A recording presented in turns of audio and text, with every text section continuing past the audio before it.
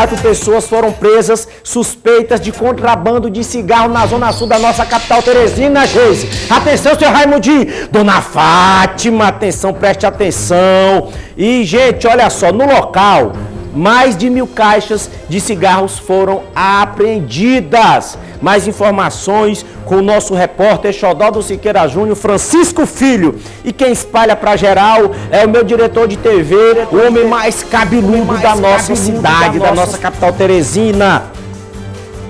O Rafael, pai do Lucas Rafael. Espalha, Rafael, vai! Olha, nossa equipe se encontra aqui no loteamento Sete Estrelas, às margens da BR-316, próximo ao Porto Alegre, ao Esplanada, onde esse caminhão foi encontrado aqui, ó, nesse depósito. Dentro daquelas caixas aqui, ó, existem cigarros que a polícia vai investigar se é contrabandeado ou não. Portão, ó, foi quebrado. Aqui essa parte todinha aqui, ó. A polícia está realizando aqui o trabalho de toda a averiguação desse material. Aqui a gente observa aqui ó, várias cadeiras, né? Cadeiras artesanais, aqui a gente vê aqui. O caminhão está com a frente batida. O portão está quebrado. Tem essa parte aqui também, ó. Tudo isso encontrado nesse depósito. E a gente acompanhando de perto o trabalho da polícia. Existem aqui quatro pessoas, ó, são quatro homens já estão algemados, já estão presos e a gente vai saber direito tudo o que aconteceu, como os policiais chegaram até esse local, como é que foi feita a prisão desses homens nesse depósito. A gente observa depósito novo que pega aqui, ó, praticamente a metade do quarteirão, ó. vai da esquina até aqui a metade, né, bem estruturado, pintura nova, todo ele bem estruturado, mas que poderá estar servindo realmente para contrabando. Isso a polícia está investigando, mas no caso aqui já existem essas pessoas, essas pessoas presas.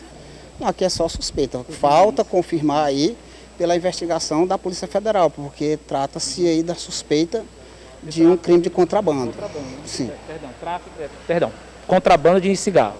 Justamente. Então, a gente vai só foi informação Denúncia. Né? Denúncia do pessoal. Aí a gente chegou imediatamente aqui, logo depois solicitou apoio. Nós estamos até agora aqui aguardando a solução que nós vamos ter que tomar frente disso aí para finalizar isso. O caminhão se encontrava ali dentro, como você está vendo ele ali dentro, só que para tirar o caminhão eles derribaram o portão. Para tirar. Foi eles que derrubaram, que destruíram a, a, a parte da frente Exatamente. aqui desse caminhão. Agora, é, aí, é que, aí é que realmente chama a atenção. Se eles vieram sabia que o caminhão estava aqui dentro, entendeu? O motorista do caminhão se encontra aqui já preso, suspeito aí de contrabando, né, de cigarro. E a polícia foi até na residência onde ele alugou ali há dois meses e ele se encontrava aqui. De quem é esse caminhão? Ninguém sabe onde é o caminhão. Sabe o caminhão, eles arrebentaram, você está vendo ali os pedaços do caminhão. E a gente viu aí. E muitos cigarros, ninguém sabe ainda que está avaliado. Tem mais de. A gente pode 500 dizer. caixas aqui fora, né? Dizer que tem mais de mil caixas avaliadas em 2 milhões de reais. Só de cigarro. Tá bom, tá aí. A gente vai finalizando aqui. O pastor, vem cá. Mostrar aqui, ó. Como é que você tem um bem, um bem muito caro, que acaba danificando. Tá aqui, ó.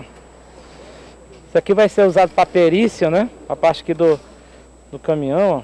Aqui também tem uma outra parte, será que é?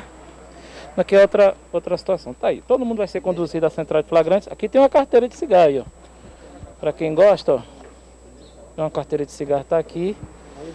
E agora a polícia vai seguir todos os procedimentos e levando esses homens para a delegacia. Consequentemente, claro, ficando à disposição da justiça.